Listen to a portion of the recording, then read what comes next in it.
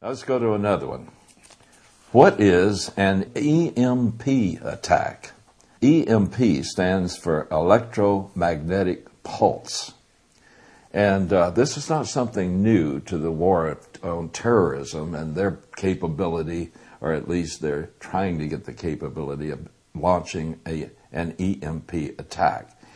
We found out after the fall of the Soviet Union from uh, the things that were passed on to us that uh, during the Cold War, that they thought of launching between a one megaton and a 10 megaton uh, nuclear warhead that would be exploded high over the middle of the United States and create an electronic magnetic pulse, which would knock out virtually every unshielded uh, electrical device that uh, is sensitive to those things. They're very sensitive to it.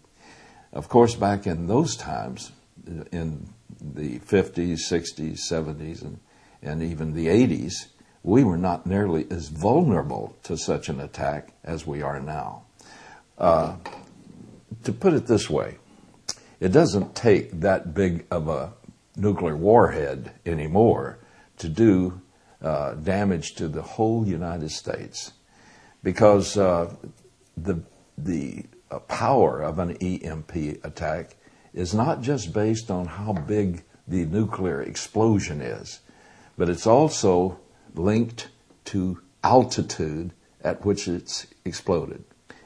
If a uh, nuclear warhead about twice the size of the Hiroshima atomic bomb were exploded 180 miles over the center of the United States, it would knock out 70% of unshielded electronic devices, especially the ones that depend on delicate little chips that make virtually all of our things go today. For instance, our fuel consumption in the car is regulated by a magnetic chip uh, or a microchip. Uh, computers control uh, everything from our dams to our electrical grids and things of that nature. Those would be knocked out. As a matter of fact, 70% of the, every electronic device in the United States would be totally wiped out. It would bring uh, such a chaos in the United States overnight that nothing would be working you couldn't get gasoline because it takes an electronic pump to pump it. You would not be able to get electricity because all the grids are out.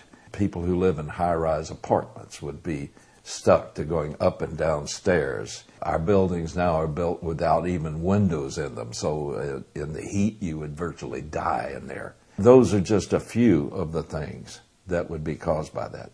But here's something even worse if you take the same nuclear bomb, about twice the size of a Hiroshima bomb, and you explode it 300 miles altitude over the center of the United States, it would wipe out 100% of all of our electrical grids and chips throughout the United States, plus a good deal of Canada and a great deal of Mexico.